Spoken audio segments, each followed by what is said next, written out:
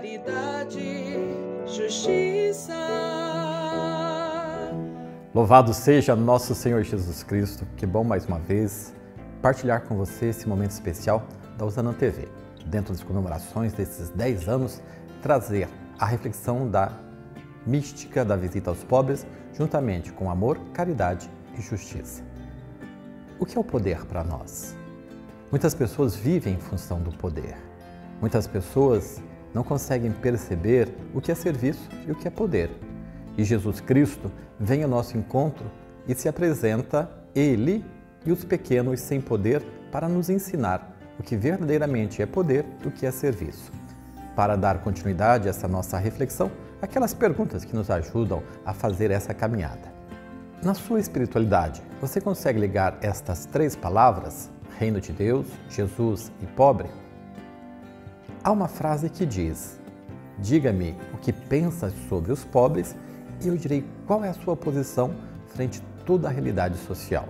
Por isso eu vos pergunto: trago dentro de mim os mesmos sentimentos que Jesus tinha em relação aos pobres?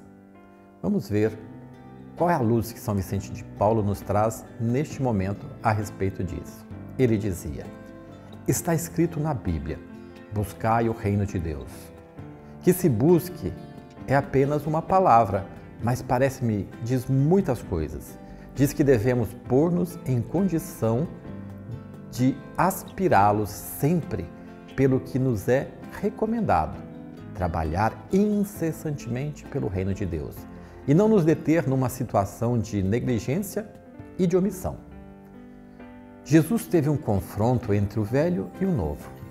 Esse confronto fundamenta-se, sobretudo, na opção que ele fez para a evangelização dos pobres. Podemos dizer que ele andou na contramão em defesa da vida. Revelou-se como pobre, manso e humilde de coração. Durante sua vida pública, Jesus é reconhecido como um profeta itinerante, portador de uma proposta nova de vida para os pobres e excluídos. Nas vilas e povoados, ele assume a defesa dos pobres, dos pequenos e dos marginalizados. Esta atitude frequentemente o coloca em conflito com os poderosos do seu tempo. Ele realiza inúmeras curas em favor dos enfermos e ensina os pobres, a quem Deus revela os seus segredos. Jesus conviveu com os pequenos deste mundo, com os pobres e os marginalizados. Ele mesmo os acolheu, ofereceu um lugar privilegiado aos que não tinham lugar nem convivência humana. Acolheu um com amor e carinho os que não eram acolhidos na sociedade ou até aqueles que eram excluídos pelo governo. Fez-se parceiro de uma multidão de pessoas portadoras das mais profundas chagas sociais e por isso mesmo rotulada e esquecida às margens da sociedade. Jesus vai ao encontro dos pobres, daqueles que não têm poder. Diz: Felizes vós os pobres, porque o vosso é o reino de Deus. Ai de vós ricos, porque já tendes a vossa consolação. Foi a partir de sua missão junto aos pequenos deste mundo que ele rezou ao Pai quando pronunciou essas palavras. Eu te louvo, Pai, Senhor do céu e da terra, porque escondeste essas coisas aos sábios e entendidos e as revelastes aos pequeninos. Sim, Pai, assim foi do teu agrado. Os sábios e os entendidos são doutores da lei, que por sua autossuficiência acabam por desconhecer a vontade de Deus e o sentido do reino. Eles são cegos, são guias de cegos. Jesus veio anunciar o reino. O reino está sempre presente na sua prática e realiza sinais para mostrar isso. O principal sinal que Jesus realiza como prova de que o reino está presente é a libertação dos oprimidos e a boa nova levada aos pobres. Manifesta seu poder exercendo justiça em favor dos injustiçados. Jesus mostra que a justiça é fundamental para a libertação dos pobres.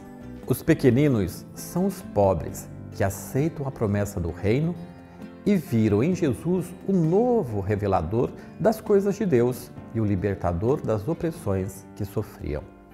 A boa nova não é mais anunciada pela classe dominante do Templo de Jerusalém, e sim pelos pequeninos com os quais ele se identifica.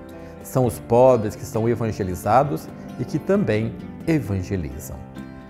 Os pobres são chamados a formar uma nova comunidade.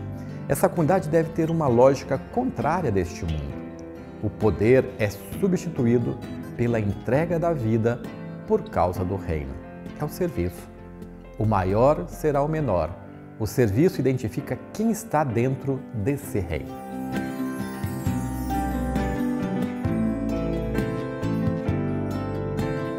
Por isso, caro irmão que está aí do outro lado, chamo você para refletir mais uma vez.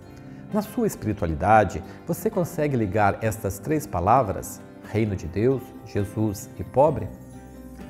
Há uma frase que diz: Diga-me o que pensas sobre os pobres e direi qual é a sua posição frente a toda a realidade social. Pergunto para você: trago dentro de mim os mesmos sentimentos que Jesus tinha em relação aos pobres? Essa é mais uma missão da Usanã TV nesses 10 anos. Trazer essas reflexões, ajudar você nessa caminhada, a dizer para o mundo que o reino de Deus está próximo pelas redes. E é você que também vai nos ajudar nesse sentido, ajudando a divulgar esse conteúdo.